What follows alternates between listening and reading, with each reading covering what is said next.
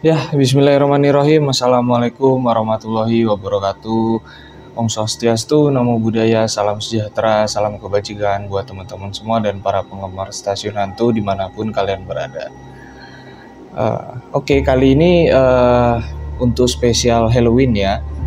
Mungkin kemarin teman-teman udah pada ngeliat dan udah pada nonton di episode stasiun hantu yang membahas satanik dan saya pun merasakan dampaknya pada saat itu ya. Uh, di di episode yang sekarang ini kita akan membahas beberapa tokoh satanisme atau ya satanik yang tergabung juga di dalam ke gereja Church of Satan yang didirikan oleh Anton Skenzer LaVey dan juga ada beberapa tokoh yang memang dia ya terlibat secara langsung ataupun yang tidak langsung dan juga saya mau kasih tahu buat teman-teman untuk challenge yang kemarin yang tembus 10.000 view itu dan sekarang ya syukur alhamdulillah udah lebih.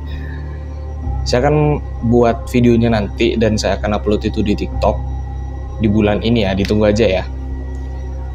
Oke langsung aja teman-teman semua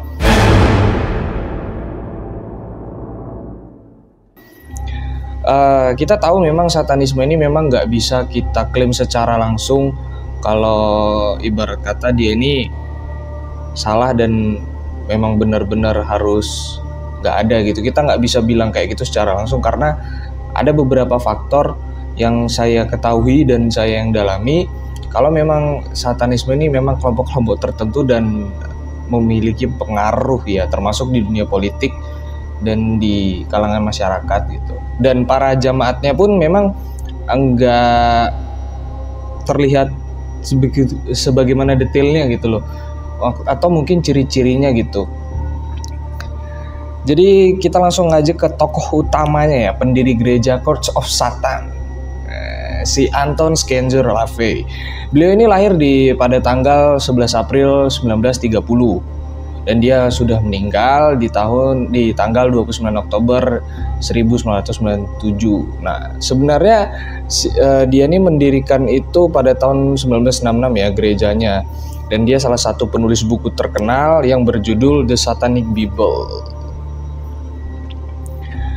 Si Lavian ini memang secara terbuka mengenalkan bahwa satanisme yang dia anut dan dia pelajari, terus yang dia uh, tunjuin ke mungkin para jemaatnya atau calon jemaat itu memang secara nyata ya yang di mana memberikan sebuah kebebasan di mana manusia itu bisa berbuat sesuka hati tanpa ada larangan yang terlalu signifikan atau tanpa diatur-atur.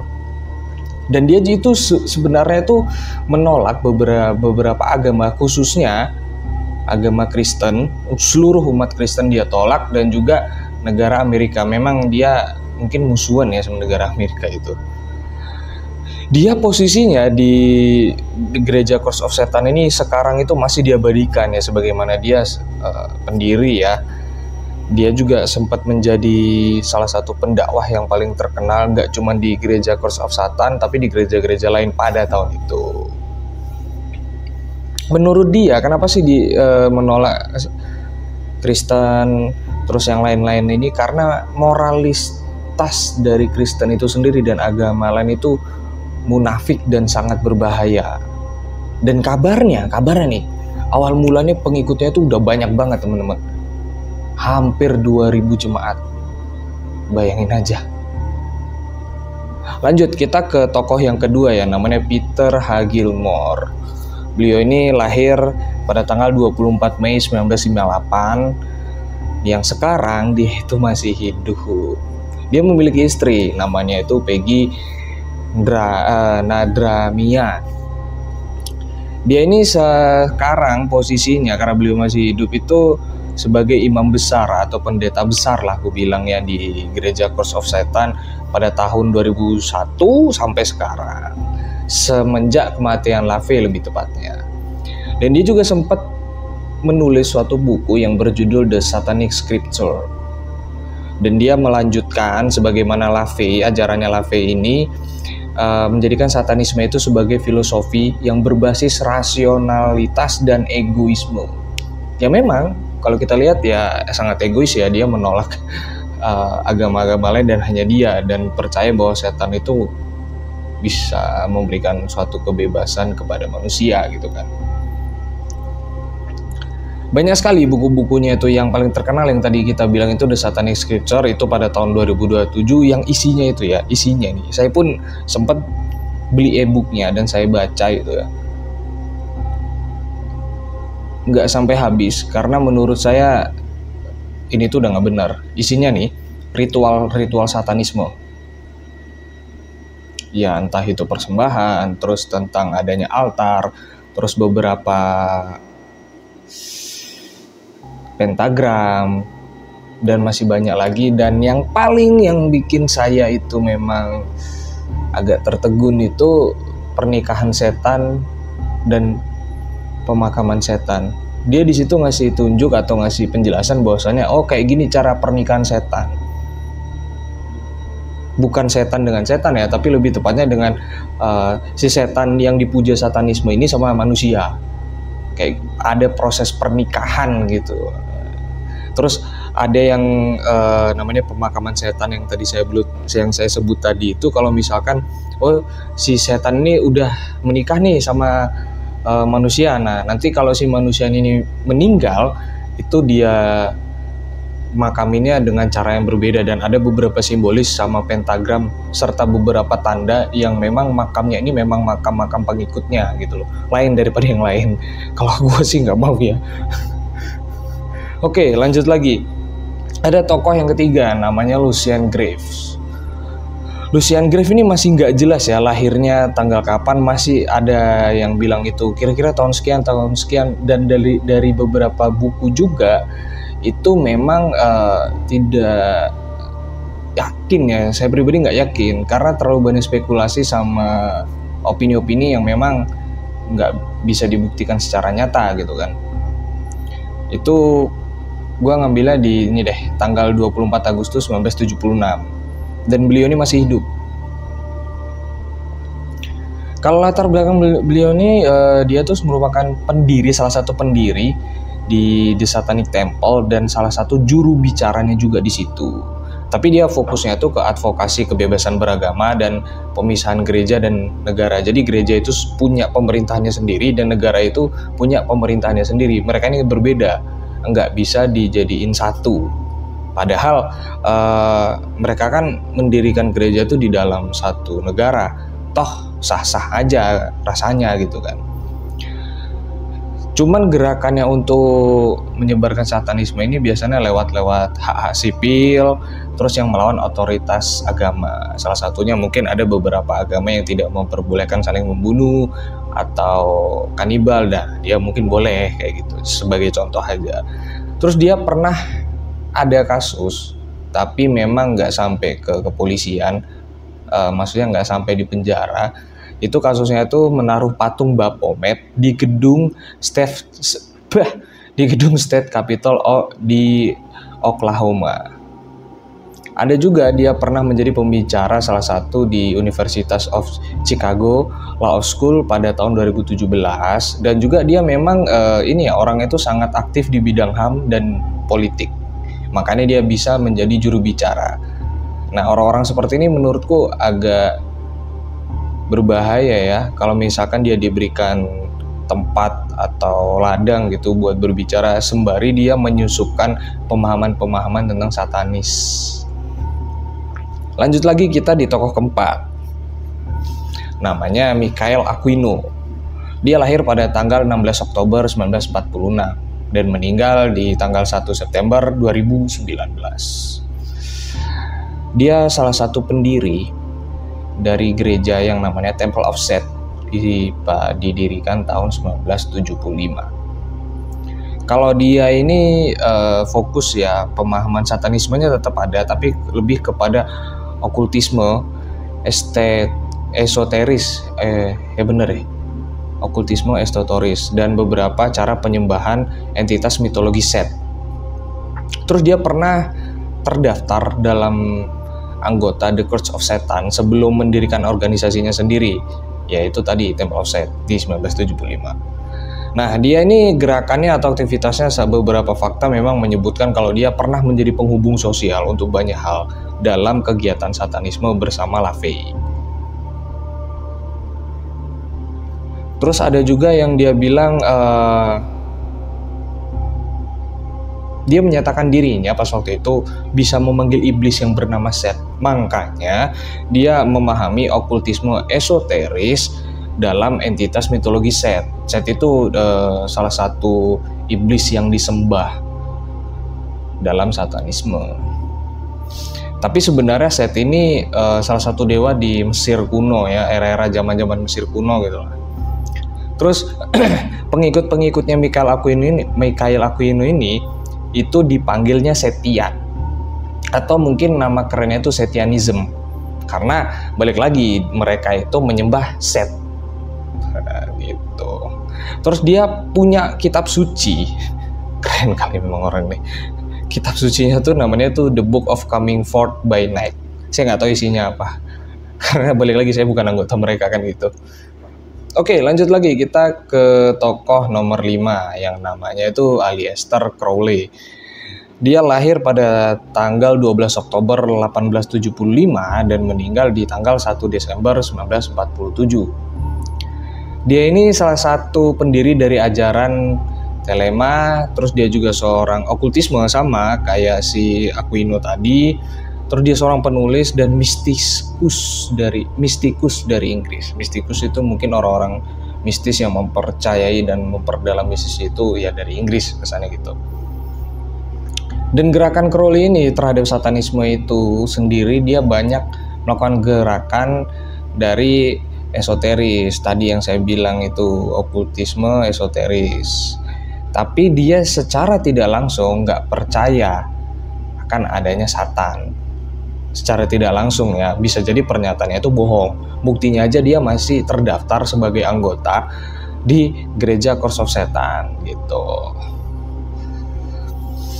dan dia juga pernah menyebut dirinya seorang revolusioner seksual dari Inggris.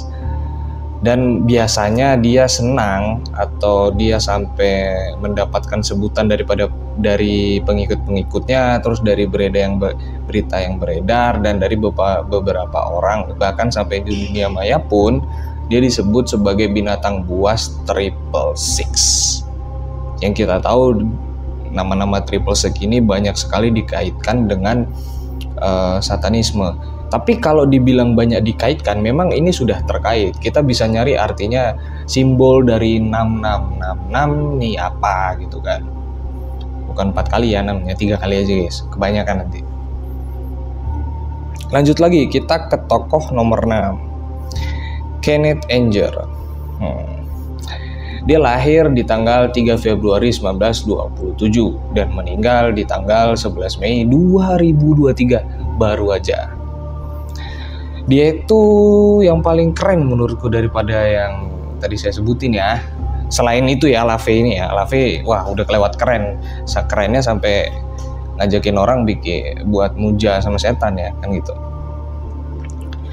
dia ini seorang sutradara film Avatar Great yang terinspirasi dari pemahaman-pemahaman okultisme dan salah satu anggota yang paling penting posisinya di gereja Church of Satan yang didirikan oleh oleh Harvey. Banyak sekali karyanya teman-teman seperti uh, Lucifer Rising, terus ada beberapa yang tadi saya juga udah lupa ya. Tapi di dalam film-film yang dia buat ini selalu menonjolkan tema-tema yang magis dan mistis. Dan terlebih lagi bagaimana cara memuja setan, terus uh, pemujaan setan itu gimana? Ya, macam-macam gitu gitulah. Dia adalah salah satu teman dekat juga dari si Lave dan mereka uh, dia tuh disebut sama pengikutnya terus di media sosial juga yang udah beredar sama media berita juga. Triple six Satan Pisces. Mungkin dia zodiaknya Pisces kali itu. Aku juga nggak terlalu gini zodiak ya cuman mendengar kata-kata 666 Satan Pisces jadi keinget zodiak tuh. Dia memang uh, sering kali bersama Lave itu melakukan pemahaman di beberapa tempat yang di mana dia selalu menyebarkan ajaran-ajaran satanisme. Itu salah satu fakta yang beredar. Oke, kita lanjut ke tokoh nomor 7 ya teman-teman ya. Namanya Boy Rice. Dia itu lahir di tanggal 16 Desember 1956 dan meninggal di tanggal 5 April 2019.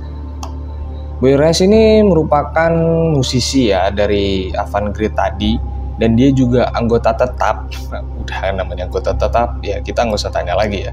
Anggota tetap di gereja Course of Setan yang didirikan oleh HVI dia dikenal banyak orang karena pandangan dia terhadap satanisme dan agama lain itu sangat provokatif dan sering terlibat dalam subkultur yang ekstrim dan sering menggabungkan simbolisme satanis dalam beberapa karyanya.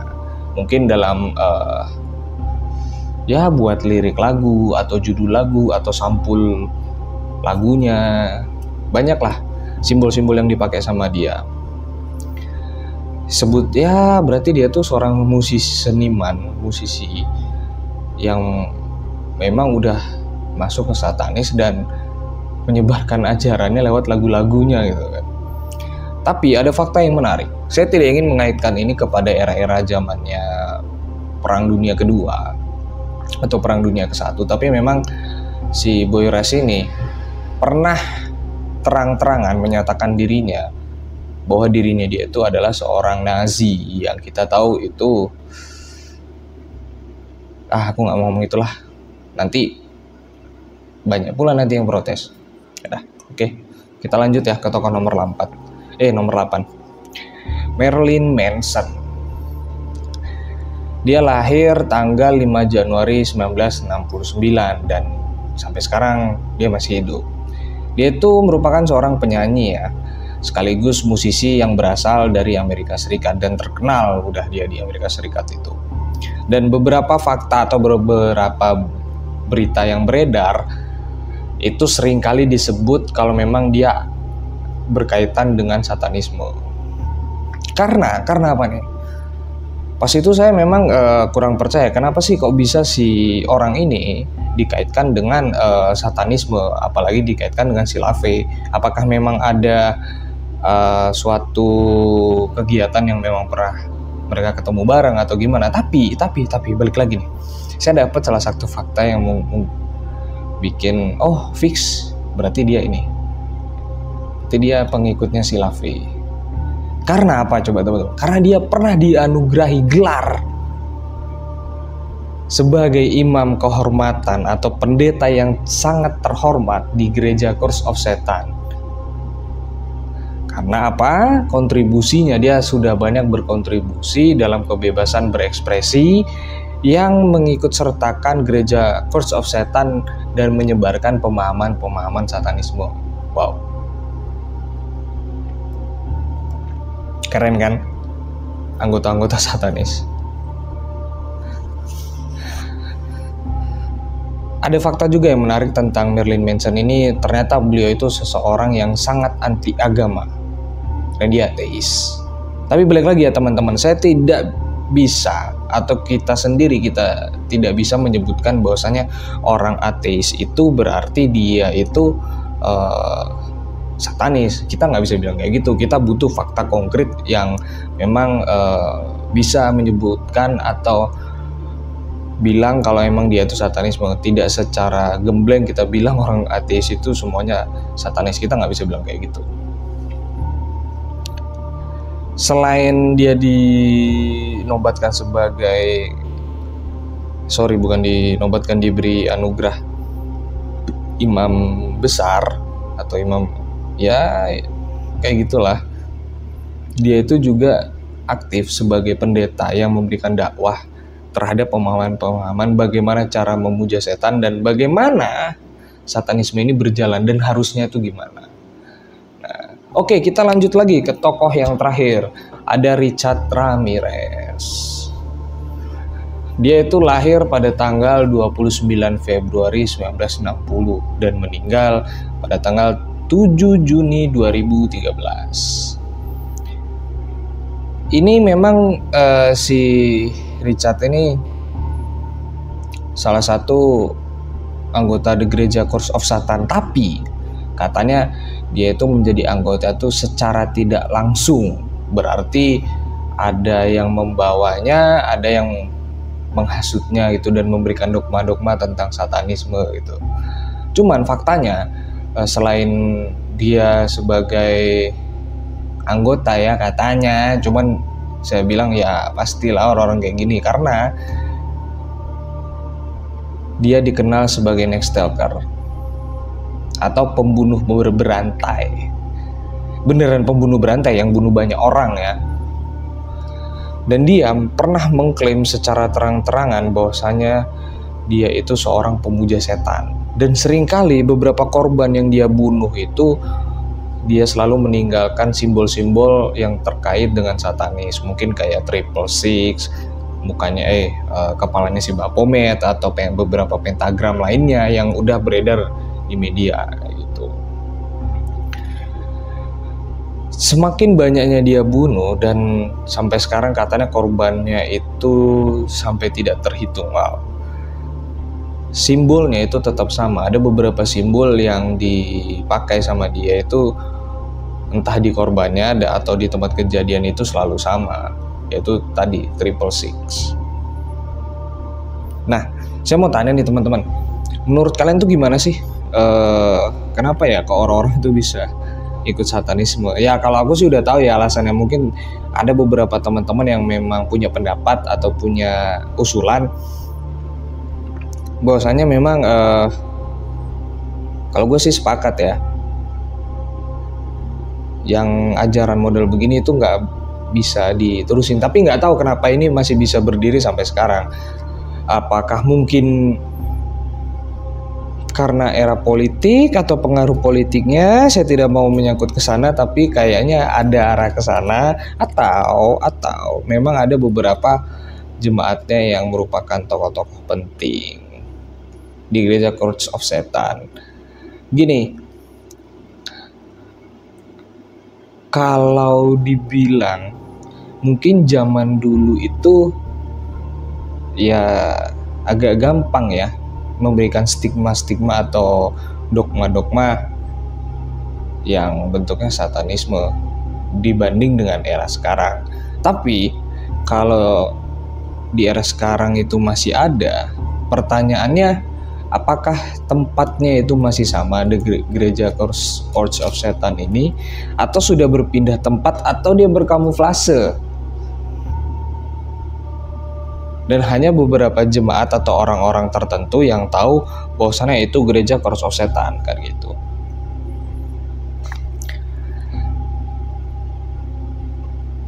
Yang paling saya nggak bisa hilang itu kenapa saya bahas ini lagi ya satu tadi karena saya senang uh, banyak yang nonton. Terus yang kedua itu efeknya itu kalau lah saya lagi bahas satanis itu kadang-kadang memang teringat lagi sama kejadian-kejadian yang kemarin. Bahkan yang bikin saya paling ingat itu adalah uh, gambaran ini saya bilang lagi gambaran bahwasanya kita diberikan kenikmatan yang sangat luar biasa apa pun anything teman-teman kayak ibarat kata saya tuh pengen punya duit banyak terus saya tuh pengen punya cewek yang cakep gitu atau menjadi harem gitu kan.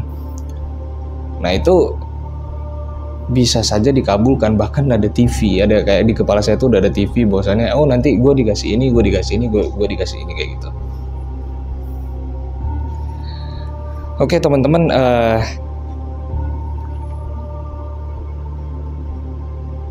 gue mungkin akan bahas lagi satanik ini di beberapa episode ke depan tapi saya lebih tertarik untuk mencari atau lebih tepatnya ada narasumber ataupun beberapa tempat yang dijadikan altar.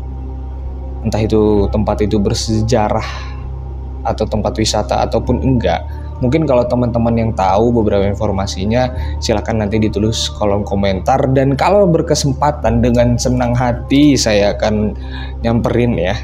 atau mungkin ada beberapa orang yang memang uh, tinggalnya di Jabodetabek ataupun tinggalnya di daerah Jawa Tengah nanti bisa ketemu juga sama sayanya kalau memang ada beberapa informasi terkait satanis ini. Tapi balik lagi, semoga teman-teman semua dilindungi rahmat yang Tuhan yang Maha Kuasa dan selalu dilancarkan rezekinya. Dan balik lagi saya akan bilang, sebagus-bagusnya kita bersekutu atau sebagus-bagusnya kita melakukan perjanjian terhadap setan, ujung-ujungnya bakalan kita juga yang kena. Apalagi satanisme ini yang saya bilang dia bukan lagi memuja tentang bagaimana cara memuja atau bagaimana cara mengabdi ataupun melakukan perjanjian, tapi secara tidak langsung mereka itu udah menjadi si iblis itu sendiri secara tidak langsung. Makanya balik lagi yang diserang itu adalah psikis. Tapi teman-teman juga harus tahu bahwasanya nggak semua itu bisa dikaitkan dengan mistis.